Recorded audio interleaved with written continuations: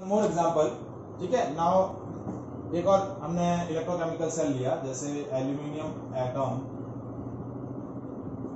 in contact with aluminium ion और यहाँ हमने ले लिया copper ion is in contact with copper atom ठीक है?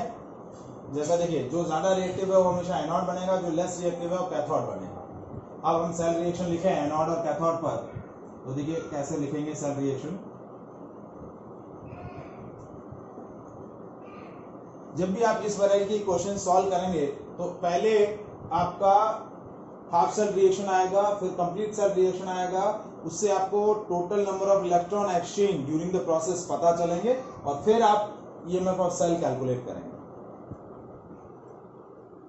इज़ इट क्लियर जैसे देखिए एट एनोड क्या हुआ?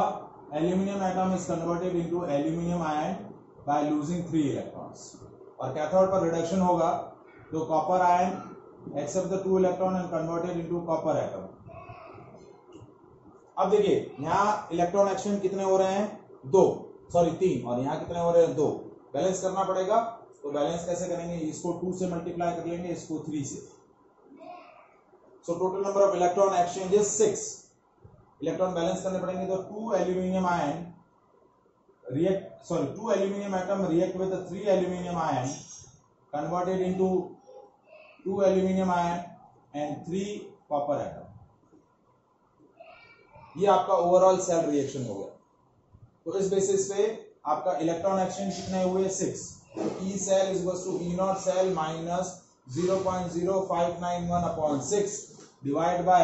कंसन sorry E cell is equals to E naught cell minus 0.0591 upon 6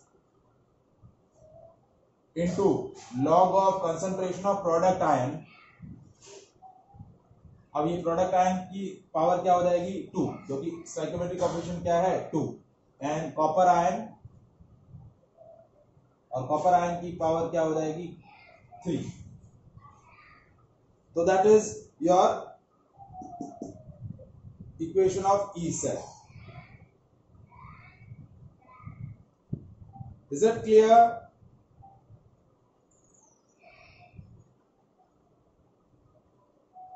समझ में आया आप लोगों को कंफर्म एनी डाउट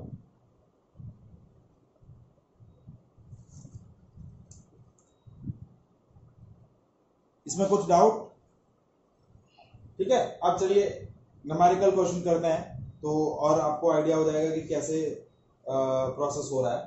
ठीक है, अब ये जो हमने जनरल इक्वेशन लिया, उसमें आप नमेरिकल वैल्यूज़ ले लेते हैं। ठीक है, जैसे अब आपका इस बार ना क्वेश्चन कि you have given electrochemical cell in which copper atom are in contact with copper ion and silver atoms in contact with the silver ion ठीक है तो कॉपर और ये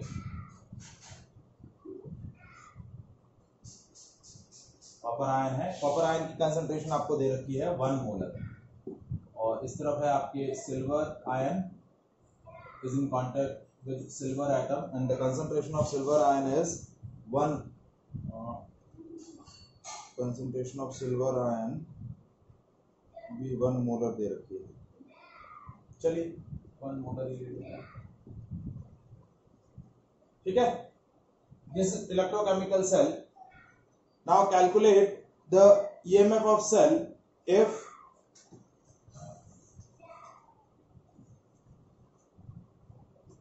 E naught cathode and E naught anode दोनों दे रखे हैं। Silver electrode का स्टैंडर्ड इलेक्ट्रोड पोटेंशियल है आपका 0.80 वोल्ट और कॉपर इलेक्ट्रोड का इलेक्ट्रोड पोटेंशियल है स्टैंडर्ड इलेक्ट्रोड पोटेंशियल 0.34 वोल्ट ठीक है? और आपको कैलकुलेट क्या करना है? ई सेल कैलकुलेट क्या कैलकुलेट करना है? ई सेल कैलकुलेट करना है। ये क्वेश्चन है आप तो ई सेल क्या होगा? ई सेल कैलकुलेट करने से पहले पहले हम सेल रिएक्शन लिख लेते हैं, ये एनॉड है एनॉड पर ऑक्सीडेशन होगा, और कैथोड पर रिडक्शन तो at एनॉड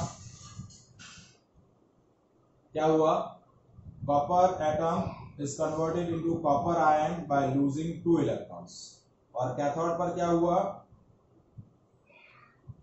Silver atom accept the one electron and converted into silver atom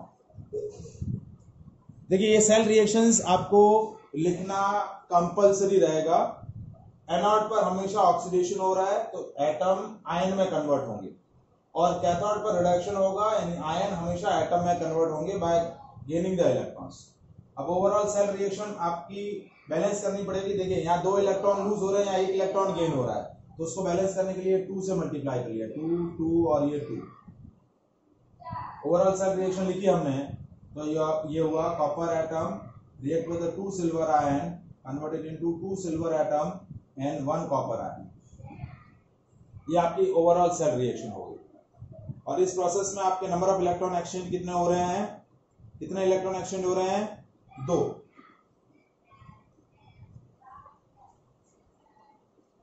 ठीक है? अब आप पहले कैलकुलेट करेंगे ई सेल कैलकुलेट करने से पहले ई नॉट सेल तो ई नॉट सेल होता है। ई नॉट कैथोड कैथोड आपका सिल्वर इलेक्ट्रोड है और एनोड आपका कॉपर इलेक्ट्रोड है। तो E cathode minus E naught cathode minus E naught anode ये हो जाएगा E naught cell standard EMF of cell तो ये हो गया point eight zero minus point three four point eight zero minus point three four ठीक है? तो ये वैल्यू कितनी आ गई? पॉइंट फोर सिक्स वोल्ट ये आपका ई नॉट सेल आ गया। कॉल डिस्कनेक्ट हो जाए तो वापस कनेक्ट हो जाइएगा। ना E cell E cell is to E naught cell minus zero point zero five nine one upon two log concentration of product ion Cu2 plus upon concentration of silver ion का square क्यों? क्योंकि यहाँ दो silver ion तो देखिए E cell क्या हुआ? 0.46 minus zero point zero five nine one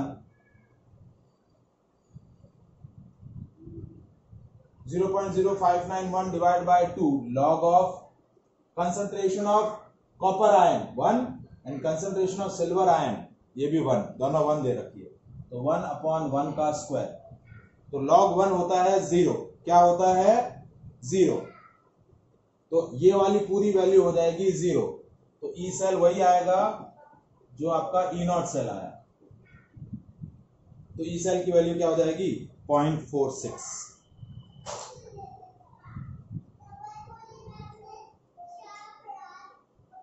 is it clear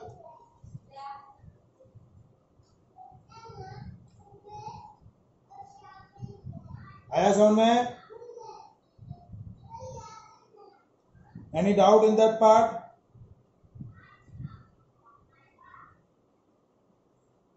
ठीक है? अब देखिए, इसी के अंदर, इसी में मैं चेंज कर देता हूँ। जैसे मैं दोनों की कंसंट्रेशन चेंज कर दू। जैसे फॉर एग्जांपल कि if I am taking a concentration of copper ion is two molar and concentration of silver ion is 0.05 molar इसी के अंदर मैंने चेंज कर दिया सेकंड क्वेश्चन कि ज़ीरो पॉइंट इसकी कंसंट्रेशन ले ली टू मोलर और यहाँ कंसंट्रेशन ले ली मैंने 0.05 मोलर तो अब देखिए, बाकी सारा प्रोसेस एज इट इज़ वही रहने वाला है। यहाँ जो वन और वन था, वो चेंज हो जाएगा। बाकी पूरा प्रोसेस वही रहेगा। पहले आप सेल रिएक्शंस लिखेंगे नंबर ऑफ़ इलेक्ट्रॉन एक्सचेंज पता करेंगे, फिर ई नॉट सेल कैलकुलेट करेंगे, फिर ई सेल कैलकुलेट करने के लिए यहाँ जो कंसंट्रेशन थी, वो चेंज कर देंगे। तो कंसंट्रेशन क्या चेंज हुई देखिए। E cell is equals to 0.46 minus 0.0591 upon 2 log concentration of copper ion concentration of copper ion कितनी है? 2 और concentration ऑफ़ सिल्वर ion है 0.05 यानी 5 into 10 to the power minus 2 का स्क्वायर क्योंकि 0.05 को हमने लिखा 5 into ten to power minus two और इसका स्क्वायर कर दिया। ठीक है? अब इस पार्ट को आपको सॉल्व करना है तो कैसे सॉल्व करेंगे देखिए। E cell is equal to E naught cell minus zero point zero five nine one upon two log two upon ये हो गया twenty five into ten to power minus four ठीक है? ये है आपका सॉरी पॉइंट फोर सिक्स तो E cell क्या हो गया? Point four six minus zero point zero five nine one upon two log two by twenty five और टेन टू पावर फोर को लिख दिया हंड्रेड इंटू हंड्रेड ये हो गया फोर। ठीक है, ये हो गया लॉग एट हंड्रेड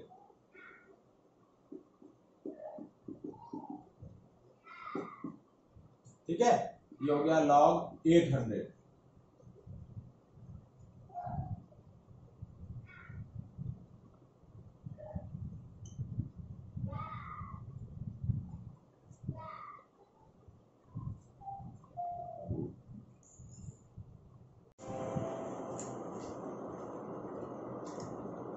लॉग 800 की वैल्यू कैसे कैलकुलेट करेंगे? देखिए E cell is equal to 0.46 माइनस 0.0591 अपॉन टू अब लॉग 800 है तो या तो आप 8 और 100 को अलग कर दीजिए, ठीक है? या फिर डायरेक्टली आप कैलकुलेट करना चाहें तो देखिए, ये आपका 800 है तो पहले इसके लिए कैरेक्टरिस्टिक कितना होगा? डेसिमल से पहले कितने डिजिट है? थ्री तो कैरेक्टरिस्टिक हो जाएगा टू कैरेक्टरिस्टिक कितना हो जाएगा? टू। डेसिमल से पहले जितने डिजिट हैं, उससे एक कम कर देना है। तो थ्री डिजिट्स हैं तो आपका कैरेक्टरिस्टिक हो जाएगा टू। और मेंटिसा मेंटिसा के लिए आपको क्या चेक करना है? एटी के करस्पॉन्डिंग ज़ीरो। क्या चेक करना है? एटी के करस्पॉन्डिंग ज़ीरो। तो ये वैल्यू आ जाएगी पॉइंट ज़ीरो वन ज़ीरो है इंटू थ्री करेंगे। तो हो जाएगी थ्री ज़ीरो नाइन। ये हो जाएगा नाइन ज़ीरो थ्री ज़ीरो। तो लॉग वैल्यू आएगी two point nine zero three zero आप लॉग टेबल से इसको कैलकुलेट कर सकते हैं, ठीक है? या फिर दूसरा तरीका मैं आपको बता रहा हूँ कैलकुलेट करने का। लॉग 800 को क्या लिखा?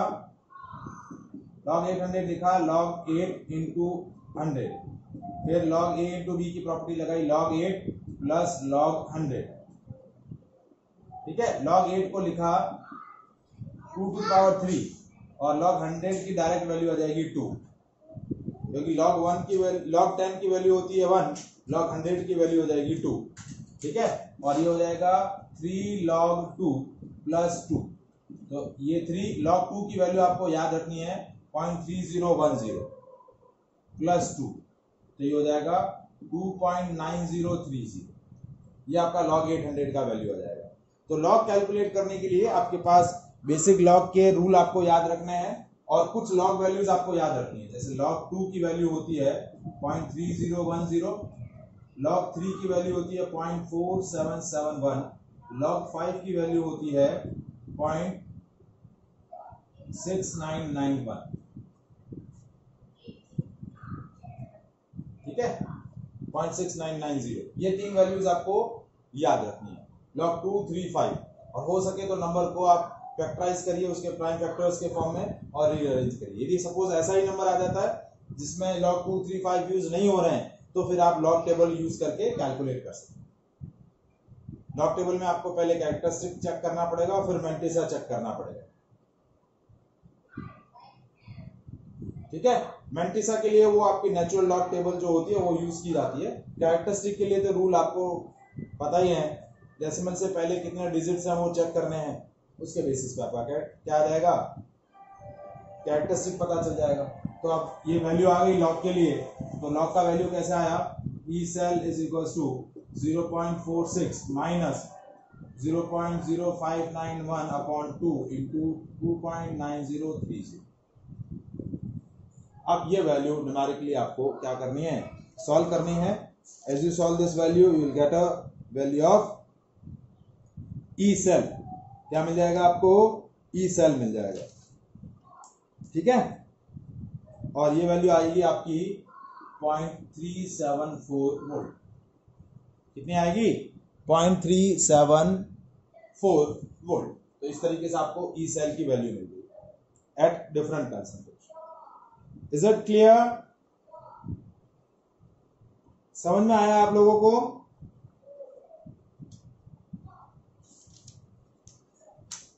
इसमें कोई पॉइंट आपको नहीं समझ में आ रहा है तो बताइए। एक और क्वेश्चन डिस्कस करें। एक और क्वेश्चन डिस्कस करना है।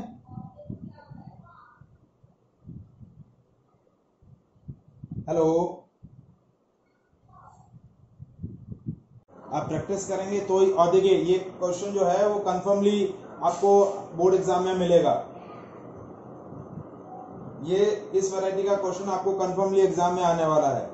ठीक है? जैसा आपको दिया नेक्स्ट क्वेश्चन है chromium atom is in contact with chromium ion of concentration 0.1 molar ये आपका एनोड है और ferrous ion of concentration 0.01 molar is in contact with iron ठीक है? ये नेगेटिव ये पॉजिटिव ठीक है? और आपको दोनों के स्टैंडर्ड इलेक्ट्रोड पोटेंशियल दे रखे हैं ये दे रखा है minus point seven five volt और फेरस का दे रखा है minus point four five volt ठीक है?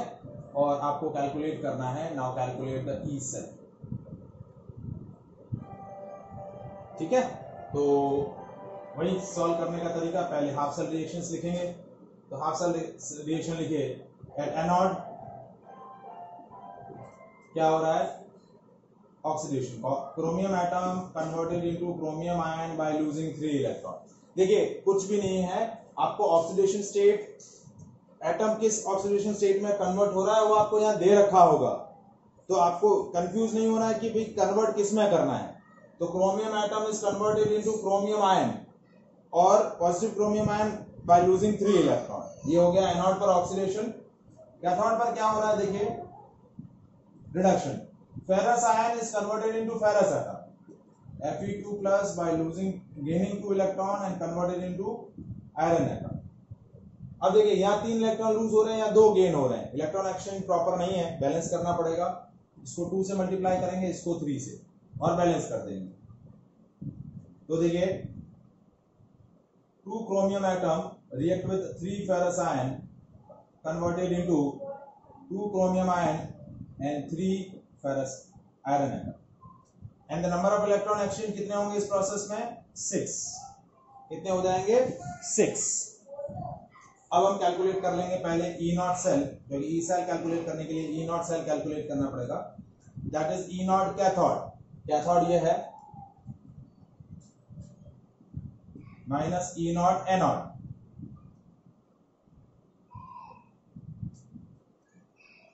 ठीक है? तो ये आया minus point four five minus minus point seven five. तो ये हो गया पॉइंट थ्री ज़ीरो वोल्ट। तो ई नॉट सेल कितना आ गया आपका? Point three zero volt. ना this is not sale value gives a important point about the this cell reaction whenever the e naught cell of the reaction or e naught cell of the galvanic cell comes positive this indicate that this cell reaction is spontaneous क्या होगी ये cell reaction feasible है spontaneous है it doesn't require any external agency जब भी किसी भी cell का standard EMF of cell positive आता है तो ये चीज़ क्या इंडिकेट करती है कि वो प्रोसेस वो सेल रिएक्शन क्या है? स्पॉन्टेनियस है। It doesn't require any external agency to run the process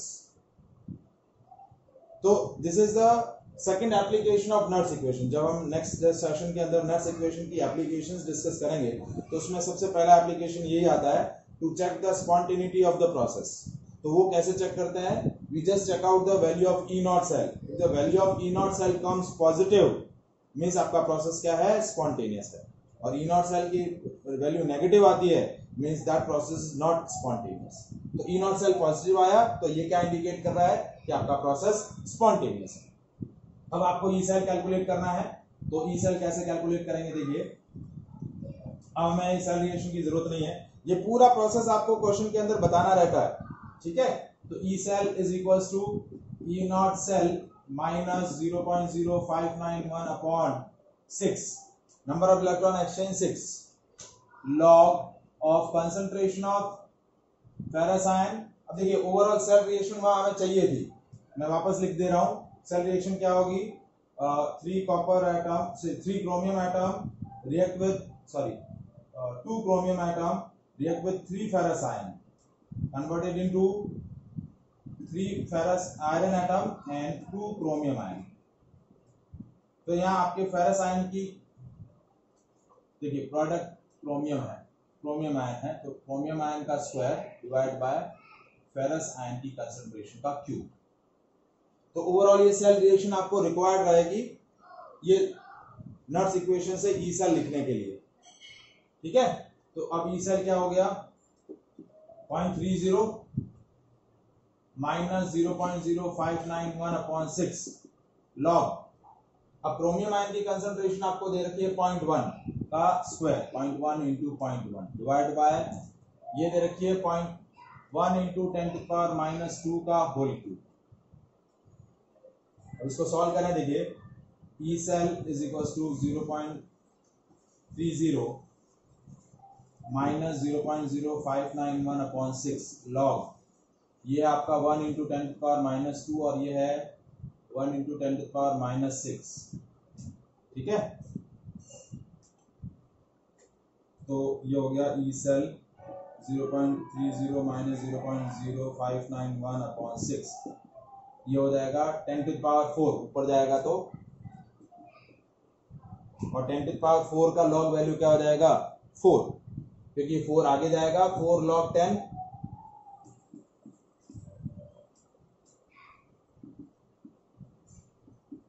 हो जाएगा फोर लॉग टेन, क्योंकि लॉग की ए टू पावर एम होता है तो एम की पावर जो है वो आगे आ जाती है। और लॉग टेन की वैल्यू होती है वन तो ये हो गया वन ठीक है? यहाँ सॉरी सिक्स लिखना है। ठीक है? अभी कैंसिल हो जाएगा point three zero minus zero point zero five nine one upon six into four ये टू ये थ्री ठीक है? इसको सॉल्व करेंगे। तो ये ज़ीरो पॉइंट ज़ीरो सिक्स ले लें आपने तो ये हो गया ज़ीरो पॉइंट ज़ीरो फोर तो अप्रॉक्सीमेट आपका ये वैल्यू आ जाएगा point three zero minus zero point zero four यानी पॉइंट टू सिक्स फोर आप इसको थोड़ा सा सिंप्लीफिकेशन कर सकते हैं। Zero point zero five nine one को क्या लिख सकते हैं? ज़ीरो पॉइंट ज़ीरो सिक्स तो zero point zero six divide by three zero point zero two into two zero point zero four तो पॉइंट थ्री ज़ीरो में से ज़ीरो पॉइंट ज़ीरो फोर गया तो point two six this is the E cell of the reaction is it clear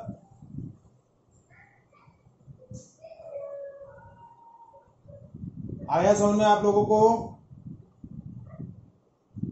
I think ये point आपको clear हो गया होगा अभी कि क्या The question number four,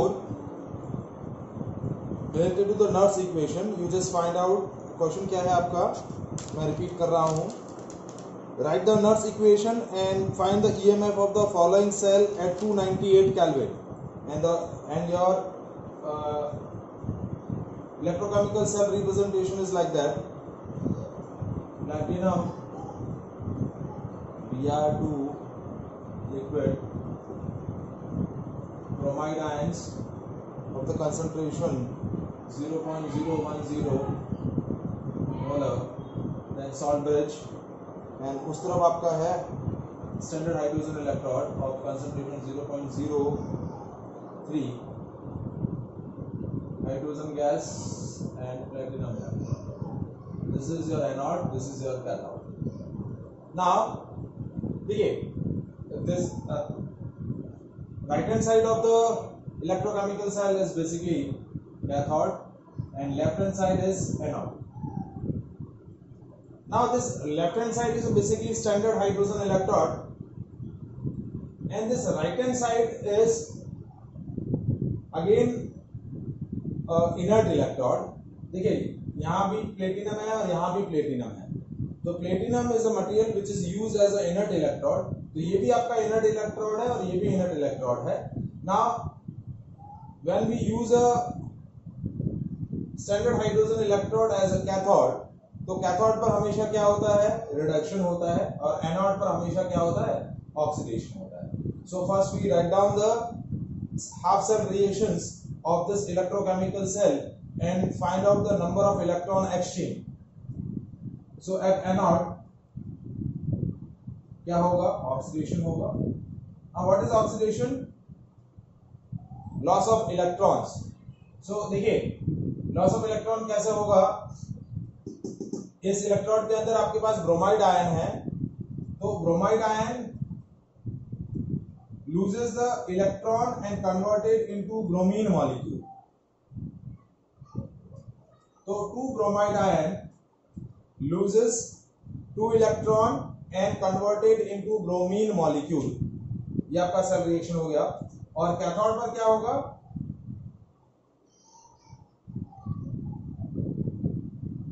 Two H plus ion accept two electrons and converted into hydrogen molecule देखिए, ये नेगेटिव आयन है तो नेगेटिव आयन जब इलेक्ट्रॉन लूज करेगा सो इट बिकम्स न्यूट्रल और ये पॉजिटिव आयन है when it accept the electron then it becomes a neutral molecule तो ओवरऑल आपका सेल रिएक्शन क्या हुआ देखिए? Twice of bromide ion plus twice of H plus ion is converted into bromine plus H2 and the number of electron exchange is N2 अब देखिए E cell calculate करने के लिए रिएक्शन क्या होगी? E cell is equal to E naught cell minus zero point zero five nine one upon two log of concentration of product to the concentration of reactants. अब first we have calculate the E cell E naught cell sorry तो E not cell कैसे calculate होगा? E not cathode तो cathode में आपका standard hydrogen electrode है। तो H plus N H two minus P naught bromide ion तो देखिए, ये दोनों इलेक्ट्रोड जो हैं, दोनों जो मटेरियल हैं, वो इनर्ट इलेक्ट्रोड है। तो इनका स्टैंडर्ड जो इलेक्ट्रोड पोटेंशियल होगा, वो क्या रहेगा? ज़ीरो क्या रहेगा? ज़ीरो। एक सेकेंड। जो हाइड्रोजन का ज़ीरो है। एक सेकेंड एक सेकेंड। ब्रोमीन का मैं चेक कर लेता वन से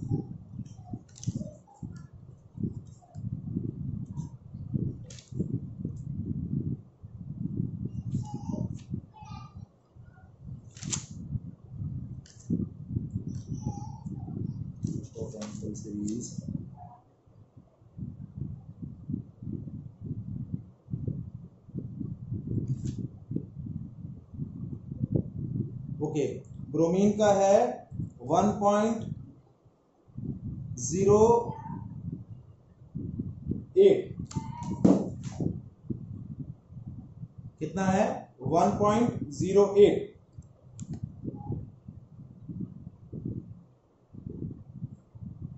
Visible है बोर्ड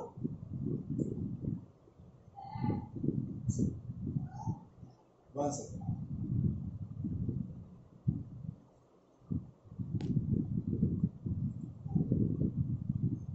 तो देखिए, इसका zero minus one point zero eight ये हो गया minus one point zero eight volt क्या आ गया? Minus one point zero eight volt ये आ गया ई नॉट सेल अब हमें कैलकुलेट क्या करना है? ई सेल कैलकुलेट करना है। So how to calculate the E cell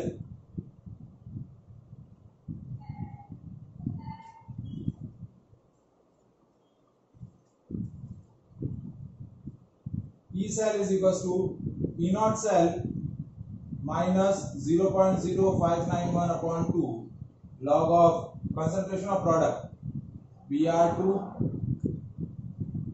and H2 and reactant है Br माइनस का स्क्वायर और H प्लस का स्क्वायर देखिए दोनों रिएक्टेंट मॉलिक्यूल्स हैं प्रोडक्ट मॉलिक्यूल्स हैं और दोनों रिएक्टेंट्स आयन हैं इससे पहले तक जो भी हम हमने क्वेश्चन डिस्कस किए हैं, उसमें एक प्रोडक्ट आयन होता था, एक रिएक्टेंट आयन होता था। ठीक है? अब यहाँ पर कोई भी प्रोडक्ट आयन है ही नहीं। दोनों रिएक्टेंट आयन है। प्रोडक्ट बेसिकली क्या है? मॉलिक्यूल्स है। तो ई e सेल क्या हो जाएगा? Minus one point zero eight minus zero point zero five nine one upon two log one upon bromide ion की कंसेंट्रेशन आपको दे रखी है।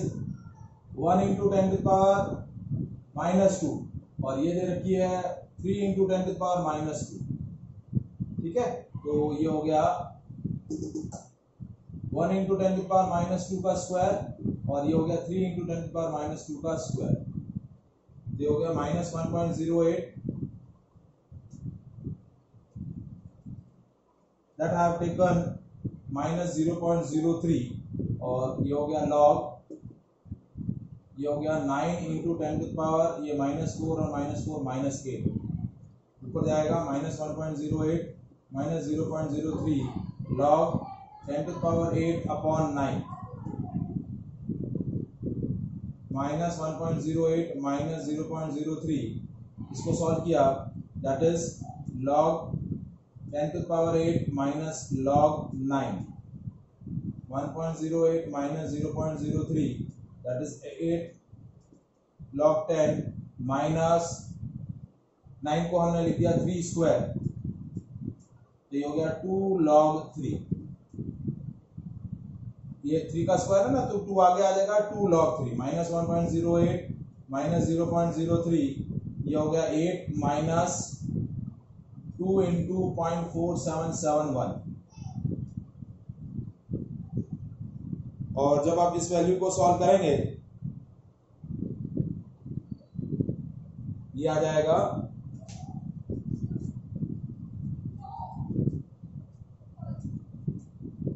minus one point zero eight minus zero point zero three into eight minus ये जो value है, इस value को मल्टीप्लाई करेंगे तो एट माइनस जब ये वैल्यू सप्लाई होगी that comes seven point zero four five seven और इसको जब मल्टीप्लाई करके ये दोनों वैल्यूज़ ऐड हो जाएँगी so this value comes minus one point two nine volt so answer will be minus one point two nine volt ठीक है? Is it clear